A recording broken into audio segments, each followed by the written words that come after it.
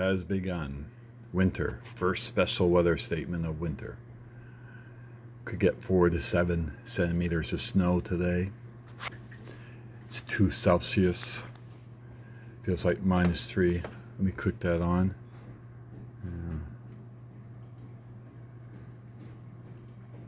That's 35 Fahrenheit.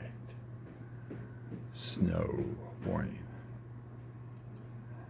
And then you come from today, and then it's going to be sunny and rain, 7, 10. Uh, weather here in Yarmouth. Have a great one.